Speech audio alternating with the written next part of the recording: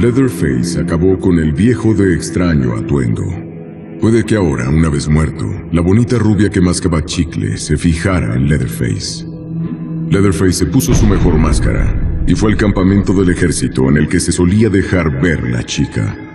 Tuvo que rajar a varios guardias y a unas cuantas amigas suyas para llegar hasta ella, pero valió la pena.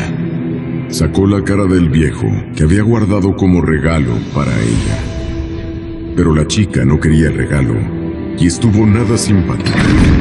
Así que Leatherface la hizo pedacitos para que Drayton pudiera preparar chile. Entonces se quitó la máscara y se puso a trabajar en la cara de la chica. Si no se convertiría en su novia, podría ser suya de otra forma.